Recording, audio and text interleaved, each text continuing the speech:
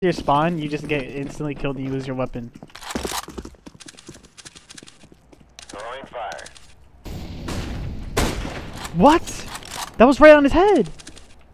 Did I even? I didn't even hit him. What the fuck was that?